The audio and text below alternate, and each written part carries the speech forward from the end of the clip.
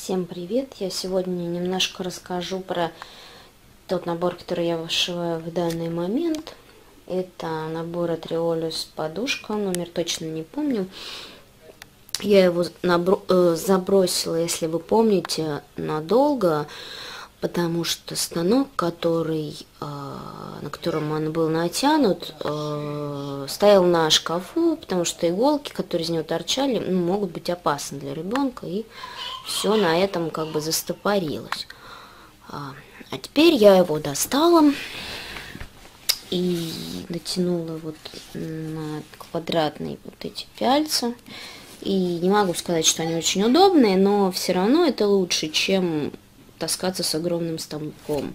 Потому что вот сейчас он очень, ну, как-то неудобный мне. Итак, а, на чем я остановилась? А, в общем, натянула я эту работу на пяльца. И теперь работа пошла гораздо быстрее. Э, для... Просто мне иногда сейчас не хватает ниток. Некоторых вот. На данный момент вот эти вот какие-то такие болотного цвета нитки. А, тем, тем, темно-болотного, скажем так, нитки цвета закончились, и в магазине их пока нет, но в принципе у меня то одно, то другое заканчивается. Чем хороша эта подушка? Тем, что ее можно как угодно крутить кверх ногами, и она как-то каждый раз открывается, ну как-то меняется какое-то ее восприятие, что ли опять-таки убеждаюсь, что при работе с шерстью, вот к ней надо привыкнуть.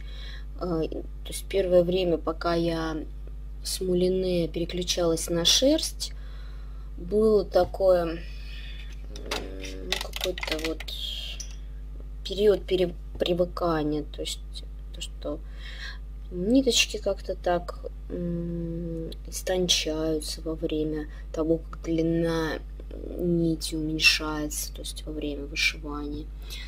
Эм, к этому надо привыкнуть еще как-то вот то, что в три нити шерстяных э, вышивается тоже такая.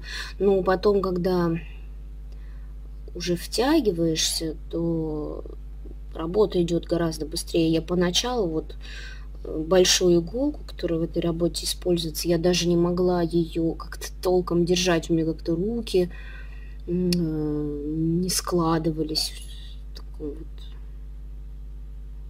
ключе. А сейчас быстрее. Я еще параллельно кролика вышиваю. Ну, знаете, вот одна из работ, которая меня затягивает, это вот это. Плюс к тому, что я заметила такую особенность. Я очень долго включаюсь в одну работу, как это ни странно. Хотя у меня и много процессов, и я должна была, по идее, это делать быстро, но нет. То есть я настраиваюсь на каждую работу долго. То есть я думаю, а вот как там вот эту, это же надо там как-то цвета раскладывать. Уже привыкаешь, знаешь, каких номеров какие, цве какие цвета соответствуют, ну вы меня понимаете. И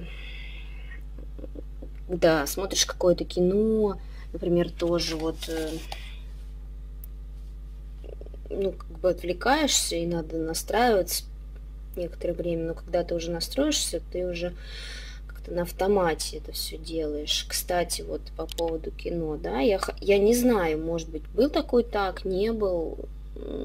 Хочу предложить вам тему для отдельного видео, может быть, назвать это тагом, такую как «Какие сериалы вы смотрите во время вышивки?». То есть давайте не будем э, здесь говорить о том, что что мы смотрим там видео на ютубе вышивальные, это само собой.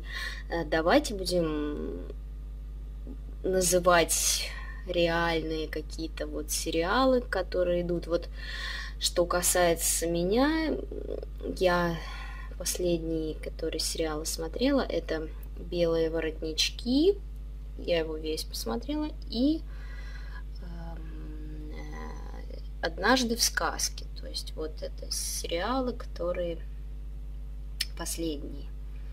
До этого мои любимые были «Кухня», а, что еще?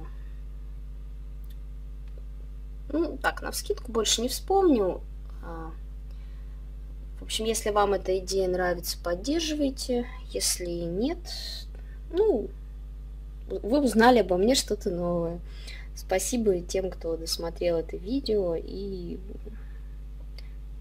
присоединяйтесь, будем смотреть вместе. До новых встреч. Пока.